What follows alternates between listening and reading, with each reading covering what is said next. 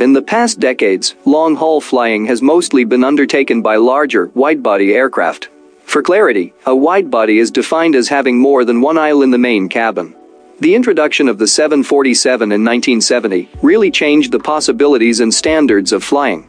But you may not know that narrow-body aircraft have flown long-haul since a while. In this video we will have a look into the history of narrow bodies flying long haul. Also we will discuss about the narrow body aircraft capable of flying long haul. And at last, we will conclude the video with the answer to the question, is long haul on a narrow body the future? So first let's know the history of narrow bodies flying long haul. Longer flights with narrow body aircraft, however, are nothing new. If we go back to the early days of the jet age, the Boeing 707 was the first truly successful jet aircraft and was a narrow body.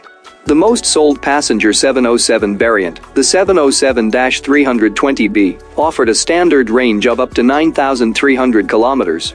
The 707 was a common sight on transatlantic flights back in the days. With the development of the 747 and later widebodies, these early days of long narrow-body flight were largely forgotten but it has never completely gone away. Many narrow-body aircraft have been capable of decent ranges, like the 737NG, the 757, and the A320ceos. The Boeing 757. One of the first modern narrow bodies to start being used extensively for long-haul flights was the Boeing 757. This first flew in 1983 and has been very popular with U.S. airlines for medium and long-haul domestic and regional flights. Once ETOPS rules extended twin-engine operations later in the decade, it started to see use on longer routes, including transatlantic. While the rise of narrow-body routes in the past was due largely to the 757. Today there are three new aircraft pushing the possibilities of narrow bodies, the Boeing 737 MAX, the Airbus A220, and above all, the A321XLR, which is expected to be a game changer. The 737 MAX. Even though the MAX had faced a lot of problems in 2019 and 2020, we can hope that things get better in 2021. As of October 2020, there have been 387 aircraft delivered, and there are 4,102 orders outstanding. The MAX has already operated on long-haul routes before its groundings. Norwegian Air operated some of the longest 737 MAX routes, including Belfast, Dublin, Edinburgh, and Shannon to New York. These are all over 5,000 kilometers. And Aerolíneas Argentinas operated the 737 MAX between Buenos Aires and Punta Cana, a route of almost 6,000 kilometers.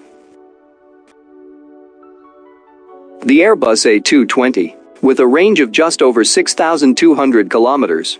The A220 comes just short of the 737 MAX.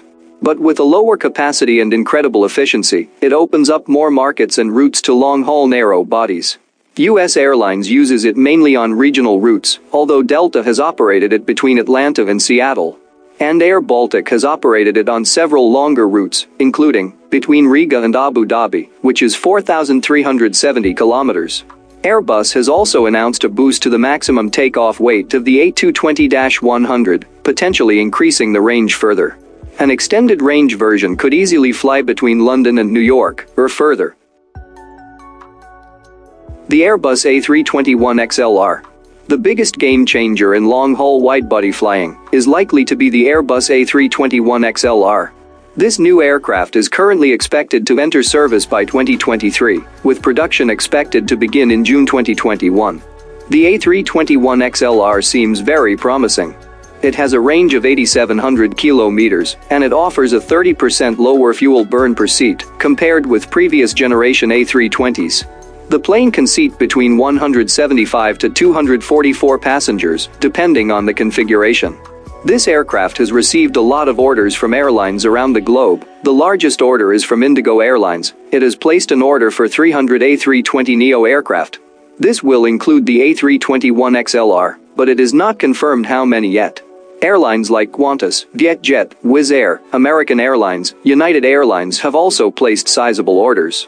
The A321XLR can connect Europe with South Asia, the Middle East with South Africa, and a lot more destinations.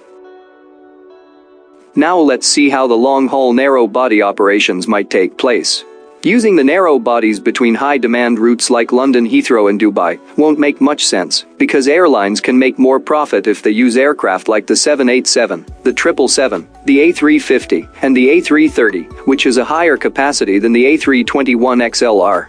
Well, that will be the case after the aviation industry has fully recovered from the impact that COVID-19 has caused. While recovering from this impact, airlines are likely to see lower demand on many routes. If the demand is lower, it will make even more sense to operate lower-cost narrow bodies on routes that can take them. So that is when airlines might be able to use the A321XLR to make profit the most.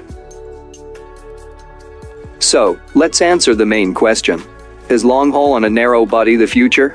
Well, long haul on a narrow body is very much possible and is also very profitable. After the launch of the Boeing 737 MAX, the A220 and most importantly the Airbus A321XLR.